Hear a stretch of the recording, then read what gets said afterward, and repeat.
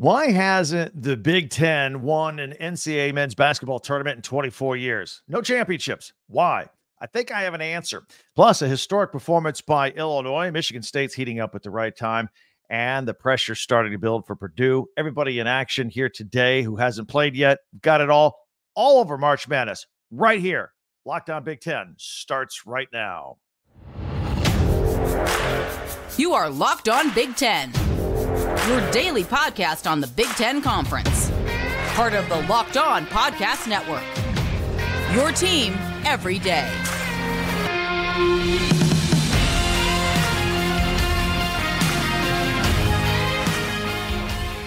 Welcome to Locked On Big Ten. I'm Craig Shemon, coming up on 40 years as a sports talk show host and play by play announcer. Thank you for making us your first listen each and every day. We're free and available wherever you get your podcasts and on YouTube. It's part of the Locked On Podcast Network, your team every day.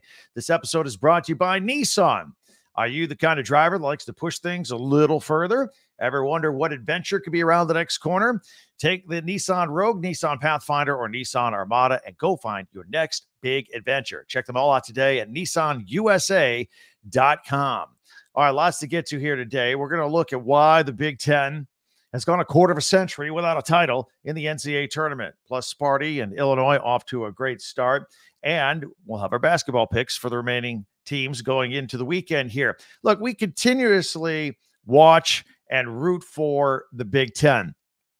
Perhaps some of your friends at work or at the bar, they like to remind you, nudge you a little bit. Hey, ah, the Big Ten, nah, they haven't won a basketball title since Michigan State did it in 2000.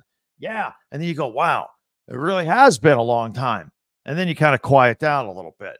Quick math 24 years, nearly a quarter of a century. Why is that, by the way? Well, I have an answer. I'm going to share that with you in a moment. I'll get around to it. But first, maybe the history isn't really that bad. After all, had a lot of close calls, haven't we? Back in 2002, Maryland won. Now, granted, they were in the ACC and out of the Big Ten back then. But they beat Indiana, the Big Ten team. And that was the last time the Hoosiers made a serious run. That was when Mike Davis took over Bob Knight's remitting players and they made it to the Final Four in Atlanta. I was at that game, by the way. There was 2005 when Illinois made it to the final, but they lost to North Carolina 75 to 70. That was in St. Louis. I was there as well, been around. There was 2007 when Ohio State lost to Billy Donovan's Florida Gators. Now, I was not at that one in Atlanta, but the Gators went back to back years winning the title. Nobody's done it since. It's hard. And I, although Connecticut may have a pretty strong chance at doing that this year and going back to back, if they can get past Auburn in my bracket, how about yours? In 2009, North Carolina beat Michigan State soundly 89 to 72. That was in Michigan State's backyard in Detroit as well. Disappointing for the Spartans. In 2013, Michigan made it to the final game, but they lost to Rick Pitino in Louisville. But the NCAA uh, took that win away from Louisville after uh, there were some recruiting violations that got discovered. So I don't know if the Big Ten can count that or, or not. They didn't quite give the win to Michigan. It's an asterisk. But if they would give it to Michigan, that that drought would only be 11 years. That seems a lot shorter. I don't know, just an idea. I guess nobody's doing that. Wisconsin, they made the final in 2015, but they lost to Duke 68 to 63. You may remember 63 points was a lot of points for the Badgers that day, but they needed six more. Michigan answered the bell again in 2018, but they lost to Jay Wright, and Villanova. That one wasn't even particularly close, 79 to 62. No asterisks in that Michigan loss. So, uh, by my math, that's seven times in the last 22 years that the Big Ten has been in the national championship game. They just didn't win it, they lost it. So, they've been in the mix. But I know with Big Ten pride, you want to get over the hump and get a team in there and win a championship. It makes that multi decades long streak look a little better if we can uh, get in there and, and win one, right?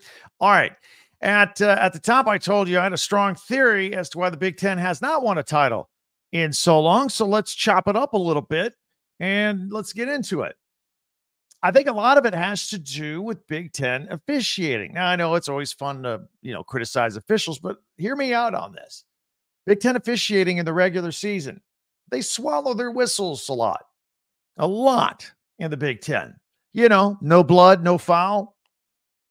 It's actually one of the reasons I enjoy watching Big Ten basketball so much. I, I like physical basketball. Maybe it's because I grew up in Detroit maybe I harken back to the days of the bad boys Pistons where it was uh, a little bloody in the paint. I like banging in the paint. I like physical basketball. And I also like the flow and the back and forth of a game. I um, I don't like it when there's whistles every two seconds. And so officials that let you play and let you bang underneath the limit, I like that style of play. But if you're blowing a whistle every 10 seconds and you're shooting 30 free throws in a game, I hate that. I hate that kind of basketball. How about you? I say let them play. So then when the Big Ten gets on the national stage and they have non Big Ten officials, the whistles start blowing. And Big Ten players get in foul trouble and teams get out of rhythm because they can't quite do what they've been normally doing. It's hard to change the way you play basketball when you've been playing a certain way and practicing a certain way every day for four months. It's hard to switch from physical to finesse right in the middle of the game. So that's one theory as to why the Big Ten has struggled all of these years over the last two decades. You may agree or disagree with that. One player, surprisingly, that will not get into foul trouble is Purdue's seven foot four giant center, Zach Edey. Now, you can go back and watch any number of Purdue games this year in particular where he literally runs over people, where he backs in or fronts them, knocks people over. He doesn't get called for the fouls. He's a smart player. And, you know, he's a player that can adjust to when you get to the postseason. You may be going, wait a minute, Craig, Purdue never does well in the postseason. Hear me out here. Uh, but we will watch how the officials call the game on him. Now, I went back and I checked. So, Edey last year, when Purdue had the embarrassing one versus 16 loss to Fairleigh Dickinson, you know how many fouls Edey had? One. He adjusts. The problem was that, uh, and by the way, they were 23 and a half point favorites in that game. The problem that night was Purdue was five of 26 from three land. That's not Zach Edey. That's everybody else. How about the year before when Tiny St. Peter's upset the Boilermakers? Zero fouls for Zach Edey in the entire game. Again, three point shooting failed the Boilermakers, just five of 21 in that game. And again, Purdue is a great three point shooting team this year. Braden Smith was all Big Ten, and he can be deadly from the perimeter. And if he stays hot, they have a chance. If he goes cold, it could be another early embarrassing exit for the Purdue Boilermakers. Live by the sword, die by the sword. But for everybody else in the Big Ten, watch the officiating and watch the foul situation. And maybe, just maybe, the Big Ten can end its 24 year drought as far as winning a championship game, not just getting to the championship, not just getting to the Final Four, getting to the championship. So, like your thoughts on that? I just wanted to throw the Zach Edey example in there. I know it counteracted my original argument. He's a smart player. He's a good player. He's a great player, best player in the league. But for everybody else, they got to be ready to switch things up a little more finesse and be ready to play. Uh, so far, off to a good start for a couple of Big Ten teams. We're going to look at that in just a second. Uh, in the meantime, be sure to subscribe if you don't mind. I always like to ask everybody to subscribe. We'll continue to get our numbers up. It helps us, it helps you get locked into us. You can follow Locked On Big Ten for free wherever you get your podcast. That way, you get the latest episode of this podcast as soon as it becomes available each and every day. So, two Big Ten teams have already played. They're 2 0. Good start. All right. An Illinois player had a historic day. Everybody else in action today, or Michigan State at one two, but we got everybody else in action here today on Friday on this Friday podcast. We will look into that. That's all uh, coming up right here. So stay with us. We got a lot to talk about. Very excited about this weekend with everything going on in the Big Ten, and hopefully some teams, a lot of teams, can make a big run. All that coming up next in one minute, right here on Locked On Big Ten.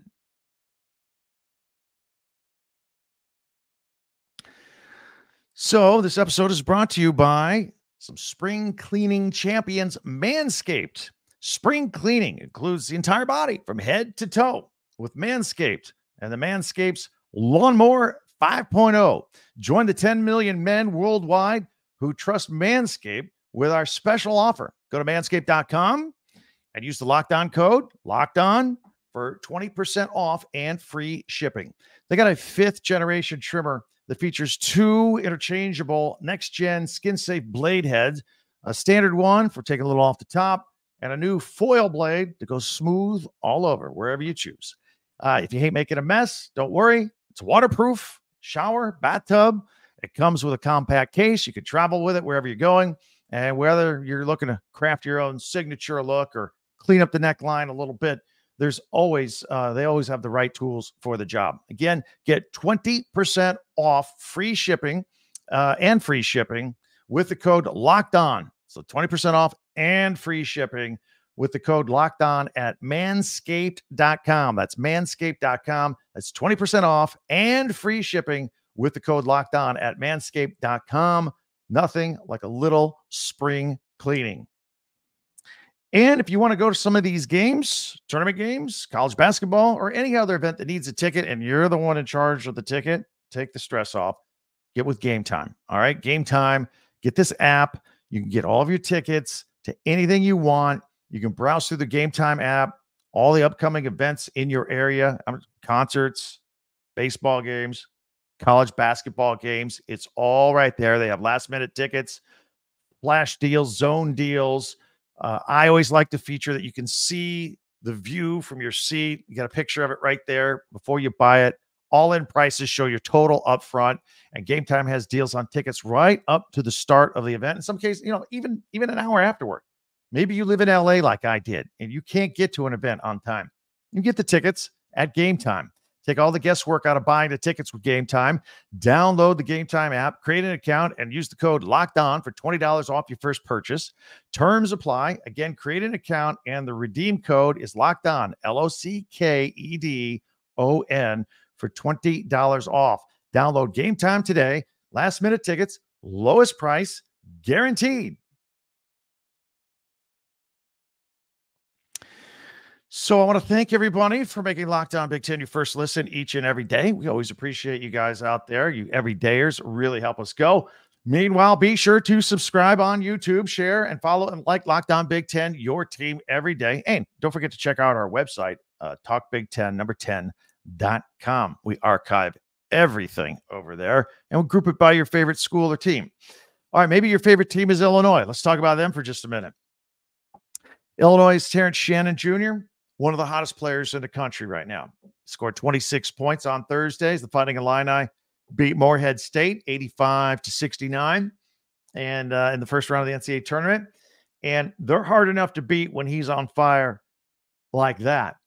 But uh, Marcus Domask posted the NCAA tournament's first triple double for the Fighting Illini, first one since 2019 and uh, he also helped Illinois get the win. He had 12 points, 11 rebounds, 10 assists. He was all over the game, just filling the stat sheet.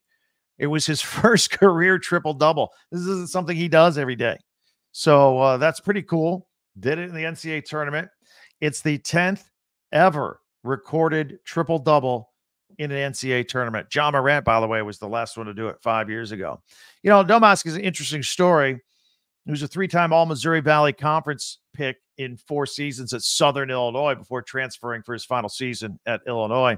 And he told a story about how when Brad Underwood was recruiting him to come to Illinois for that last year of eligibility, had conversations about winning big games in March, like right now.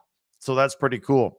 Next up for the Big Ten tournament champion fighting Illini, 11 seed Duquesne, who uh, appears to be pretty tough. They improved to 25 at 11 with a surprising 71 67 win over BYU. And Illinois, you know, we talk about teams having success from the Big Ten to the NCAA tournament. They've not made it past the first weekend since it played that 2005 championship game we just talked about a few minutes ago. So uh, hopefully they can get this second win against Duquesne and get into the second weekend and get on a roll. And I don't know what's gotten into Tom Izzo and Michigan State over the years in the month of March, but something's just magical about it. We weren't even sure that the Spartans were going to make the tournament this year, but he got in for the 26th straight season, and Izzo and the Spartans won their opening game for the 20th time out of those 26 appearances with Thursday's 69 51 win over Mississippi State. Tyson Walker had 19 points. Jaden Akins added 15 points and seven rebounds in what was Izzo's 56 NCAA tournament win. He trails just three other coaches in that category for any coaches that got racked up wins at one school. Uh, and he's been at Michigan State forever, the whole time. Um, they also crashed the glass really well here, the 35 29 advantage for them in this game. But uh, you know, there's not too much uh, time here for the the Spartans to celebrate because next up in the bracket they got top seeded North Carolina taking on the Tar Heels, and this game is just two hours away from where the Tar Heels play at home, so it's going to be a big Tar Heel crowd there at this next game on Saturday for Michigan State against the North Carolina Tar Heels.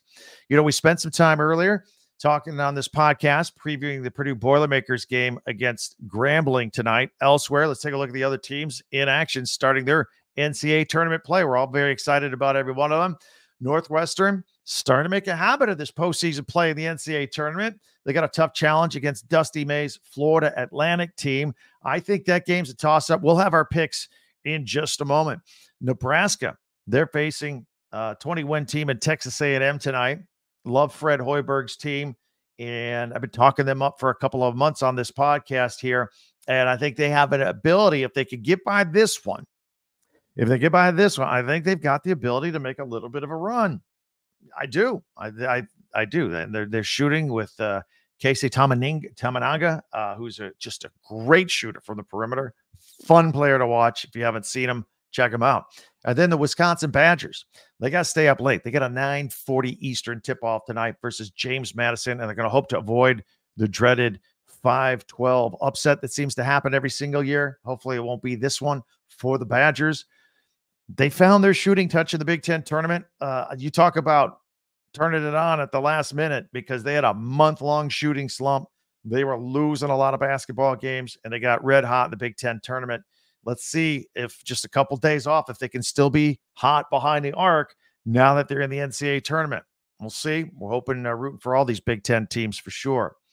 And I want to ask you a question.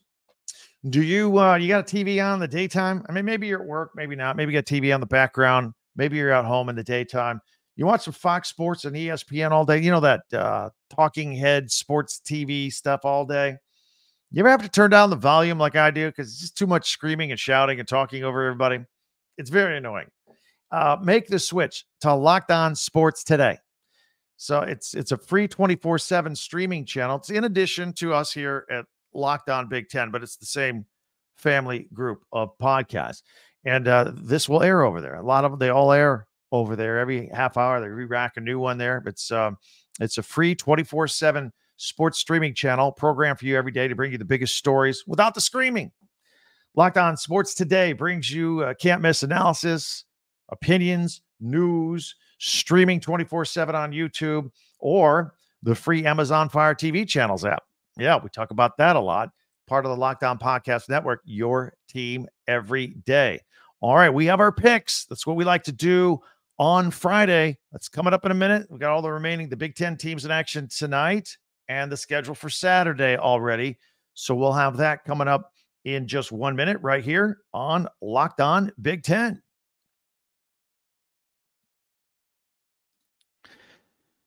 This week's March Madness bracket highlight is brought to you by our friends at Nissan. Each week, we are picking one team that stands out, a team that's pushed it further than the rest. And just like any of the all new 2024 Nissan SUVs, these guys were able to take it to the next level. And I am talking about the Nebraska Cornhuskers all week. I've been jumping on them, I've been pushing them, been talking to you about them. And unless you're already a Husker fan and you're checking us out here on Locked On Big Ten, maybe maybe you haven't watched a lot of Nebraska basketball. Watch them. Very exciting, great shooting team, very exciting play and uh, went undefeated at home in Big Ten play this season. And it got all sorts of momentum.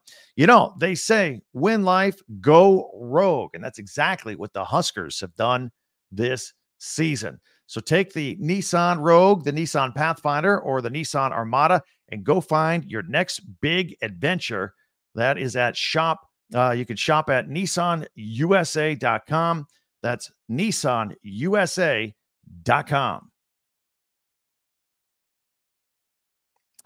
All right, uh, let's take a look at our picks from the games here coming up this weekend. A couple in the books already with Michigan State and Illinois moving on to the next round. They'll play on Saturday. We'll look at those last. We've got a whole bunch of teams in action today on Friday. If you're check, I don't know what time you check out this podcast. If you're a morning person, afternoon or evening, but uh, we'll have the tip times for you here as well. So uh, we're going to put them on screen so you can see them and get this out of the way. Pop this up. Here we go. Um, if you're on audio only, we'll describe it as best we can. So we started off uh, right away an early game here on Friday, 12 15. First one out of the box on uh, CBS out of the East bracket. It's a 9 8 game, nine seed Northwestern taking on the eighth seed Florida Atlantic. And you know, we're big fans of Boo Buie and uh, Chris Collins and everything that they do, but they are streaky. We'll see what, what kind of streak they have here where they can uh, enter this tournament red hot or not. Florida Atlantic's very good, 25 win team. Some of the experts will tell you that they are not as good as the team that made it to the Final Four last year, but we'll see. I think this is going down to the wire. The uh, point spread is minus three and a half for Florida Atlantic to win. They're favored. The over under at 143 and a half. I think that the 143 and a half is right about the number. I'm going to take Northwestern. I, I think this goes down to the wire by a bucket. Even if Florida Atlantic wins, I don't know, the three and a half. I can see this being a two point game or Northwestern wins. So uh, I'll take Northwestern on that. Texas A&M and Nebraska, another 8-9 game. Nebraska, the eight seed. Texas A&M, the nine seed. Nebraska is favored here at uh, minus one and a half. This game will go down to the wire. Again, I like the over under at 146 and a half. I think it's about right. I wouldn't fool around with that too much. This game is at uh, 650 Eastern time on TNT out of the South. And I do like Nebraska. I told you if they win this one, I think they can win a couple more. I really do. I am big on them, but they got to get past this one. This will be a tough game. Texas, Texas A&M was a bubble team. 20 win team, so they're pretty good, but they were a bubble team, and I I think uh, I think Nebraska can handle them. Meanwhile, we got number one seed Purdue versus Grambling, the 160, the dreaded 116 that Purdue lost last year to Fairleigh Dickinson. Purdue is a 26 and a half point favorite. Uh, I I would think they would go over this number at 138 and a half. 26 and a half points, so that's a lot. Uh, Purdue will win maybe by like 20. So uh, I guess take Grambling because of the points. This is a 725 tip off, but Purdue will win this game, right? we said this last year about Fairleigh Dickinson. I don't know. Uh, also, let's uh, change the screen here and look at the remaining games. We've got uh, the 12 5 game, James Madison versus Wisconsin. Wisconsin is a five and a half point favorite in this game, uh, over under at 145. I think they go past that number. I think it's a higher scoring game if Wisconsin can hit its shots. They'll cover and they'll go over the number. If they go cold again, well, they won't win because James Madison's good and they won't hit the number. It's all about the three point shooting with Wisconsin. Are they bringing their A game or are they going to struggle? And you may know right away watching that game. That game isn't until 9 40 tonight Eastern time on CBS out of the South. Then we look to Saturday's games already. Michigan State want to know already in the tournament, but they got to take on number one seed North Carolina and take on the Tar Heels. Tar Heels are just three and a half point favorites. Interesting for a number one seed. Uh, the over under at 139 and a half. These are two pretty good defensive teams. I that number is right. I wouldn't mess with the over under at all. North Carolina, three and a half, huh? I do think the Tar Heels will win this game and they probably cover. And I'm sad to say uh, that will be it for the Spartans.